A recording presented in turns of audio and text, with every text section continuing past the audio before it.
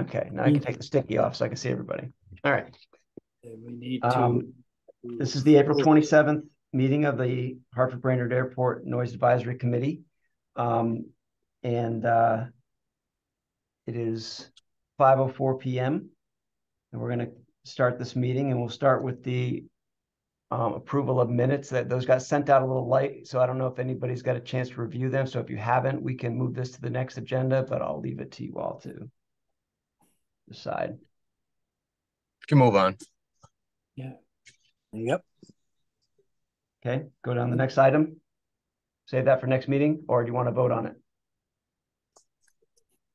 I'm okay with it. We can vote on it as far as I'm concerned. You guys, everyone else? I make a motion that we approve the minutes to the last meeting. Okay, so Bob, Bobby D. I'll I second. it. approve. I third it. all right, all in favor? There you go. There you go. All in There favor? eyes. Roger. Aye. Fred, I'm going to abstain. I was not present at the meeting. Okay, Thank you. thank you.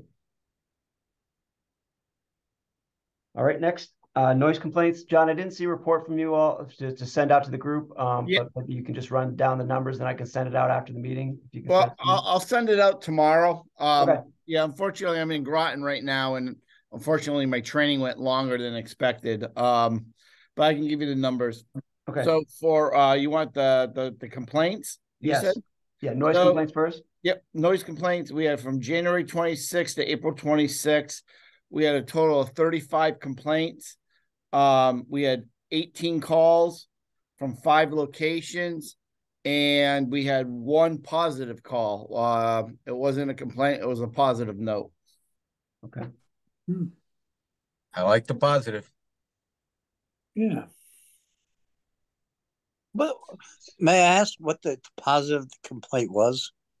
It, I, to be honest with you, I didn't, it was, he, he said the airplane was flying over the river as, as instructed and he was glad to see that. Right. That's exactly what it was about, Johnny. The pilot, the uh, gentleman was complimenting that the pilot was flying the proper noise abatement com- procedure. I I have been monitoring uh the flight path over the river and meadows, and it seems to be uh quite a few. And I'm glad because I got I am the one who got a change to that of the river and meadows. Way Yep. back in the master plan. I've been monitoring it as I'm looking for the eagles on the Wethersfield side. They're they're out there. I see Yes, them every day almost. we have eagles. Mhm. Yes, you do. They're they're a beautiful bird. Beautiful. I have my telescope and I use a uh, uh, uh on a nest. And Yep. I think the the kids are about to hatch. Awesome. Yeah. Awesome. Bobby, did you know they found two new eagles nests across from, if you stand on Riverside Park in Glastonbury and look across the river, there's Mhm. two new nests there. Uh not cognizant of those. I uh thank you, Cindy. They Uh just found them in one of their winter walks. oh I I uh, apparently I can't see them from this side of the river. That's a possibility. Would be. I Jim heard Woodworth they're would there. have everything. Mhm. Okay, I heard they're there, but I haven't seen them. Nice. The one I'm looking at uh, with my telescope is actually on the Glastonbury side, and the parents are really busy. Anyway, the planes do not disturb them. Any other, uh, comments on noise before we move on to operations? Nothing specific, just in general, the noises uh, continue. I have not had the t- chance to call many in, uh, if any, but uh, there are mm, plenty of strong, powerful jets. Not even jets. Sometimes it's the uh, propeller in the in in the front. They come barreling down to make a uh, straight landing over uh, old M- M- Main Street of Old Wethersfield. So let it be noted that Yeah.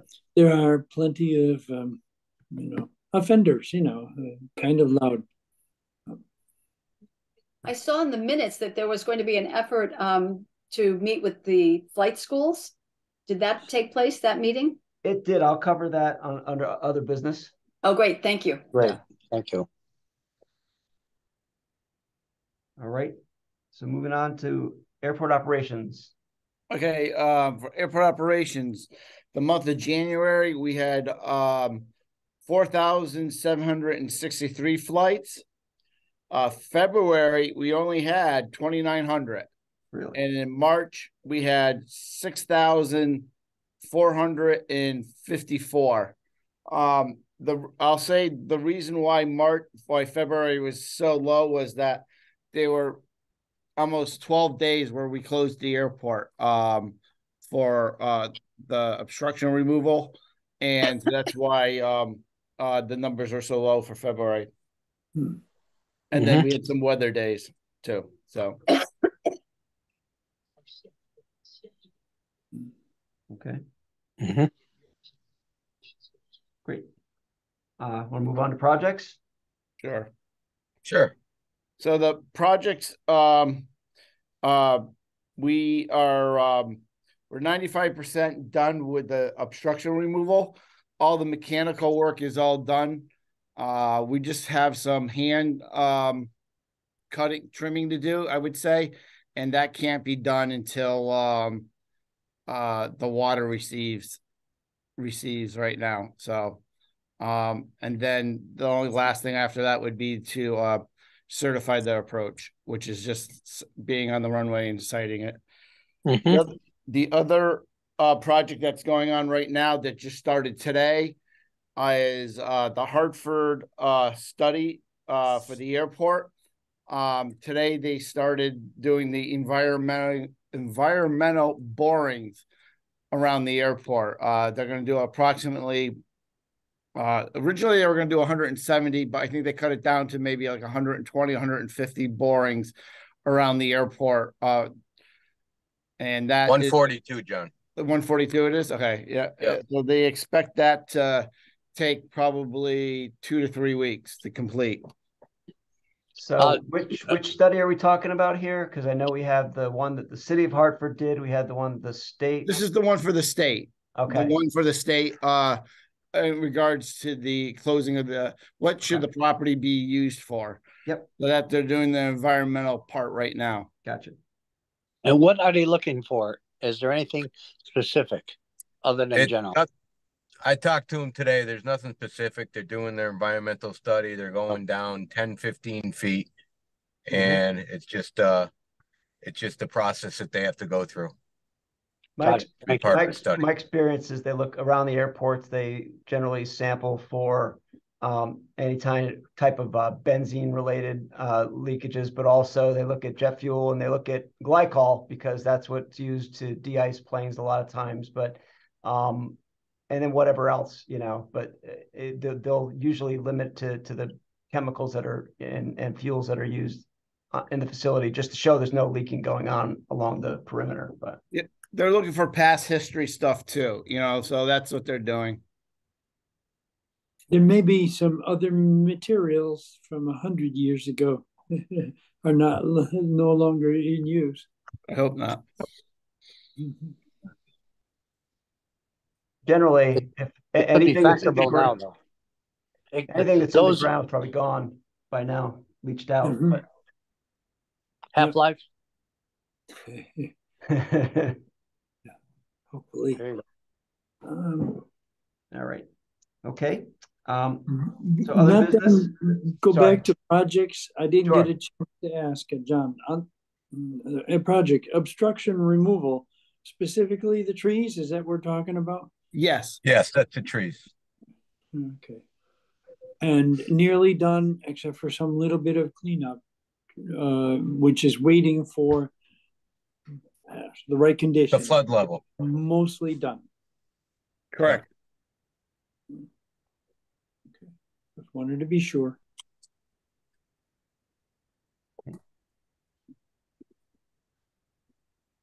All right, now we'll go on to other business. So, um, Judy and I did, um, attend a meeting with the pilots group. Um, that was on February eleventh.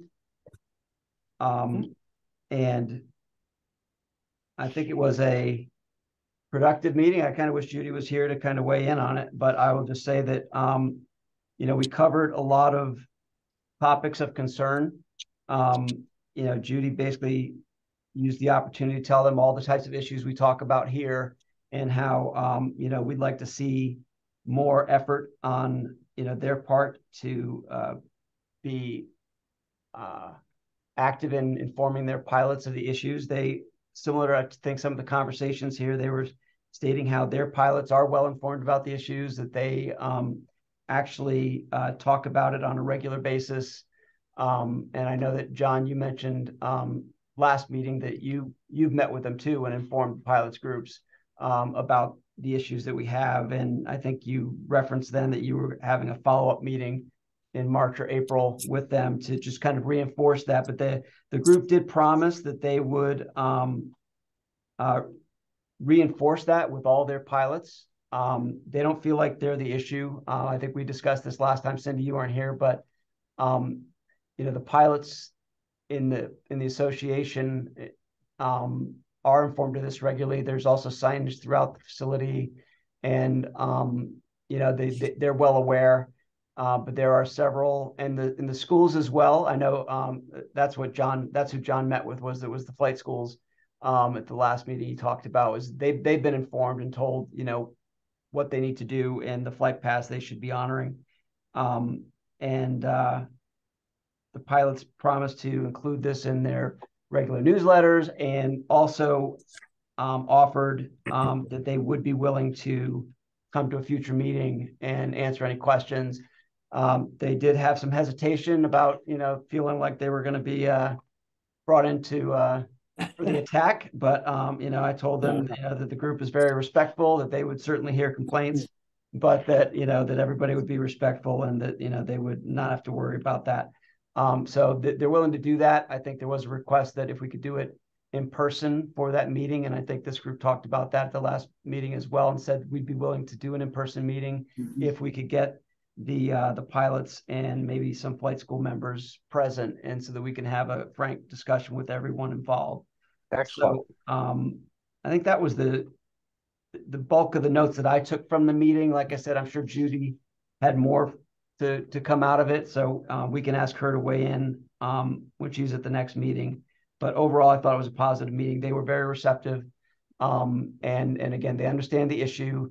They stressed, you know, the value of the airport several times and and wanting to maintain that. Um, so uh, but as a, as a first kind of blush um, opportunity to sit down with them for for my part, you know, I felt that they were very forthcoming and and understanding, but at the same time, you know, they were, you know, very protective of you know what they have and and, and want to maintain it as much as possible. So um, Thank you for conducting this meeting, sir, and telling us about it. my pleasure. Thank you very much. Agreed. Amen. Like I said, Yes, Judy was there and she hit him pretty hard. I will say, you know, she was she was uh she kept going at them with with a number of and, and challenging them on a lot of the things that they said. But I think ultimately it was a very positive meeting and conversation, and and I think you know she felt you know that it was it was it was worthwhile too. But I think it would be good for this group to have an opportunity to speak with them as well. Yes, sir. Indeed.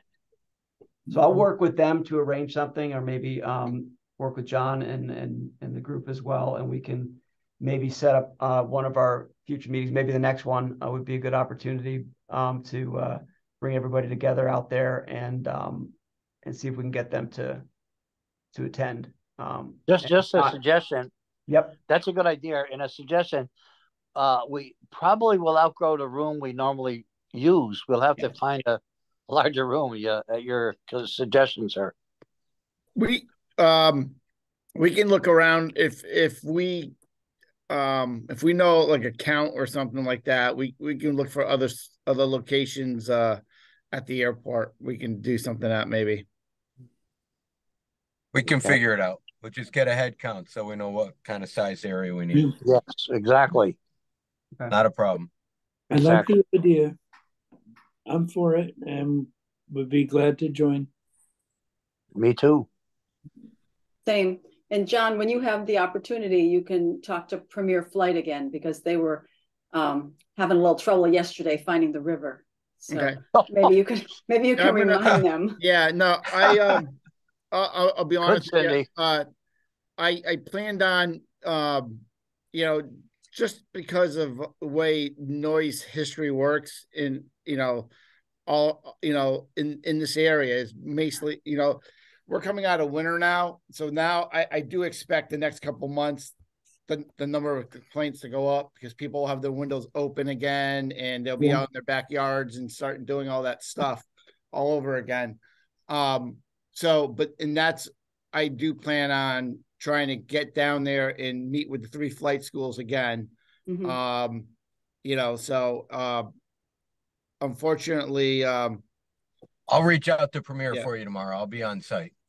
Yeah, but I want to have a, I want to have a one-on-one meeting with them, Bob, with me, you and them in a meeting and with each flight school. And I, I think it's better if we do it individually, not all three of them together.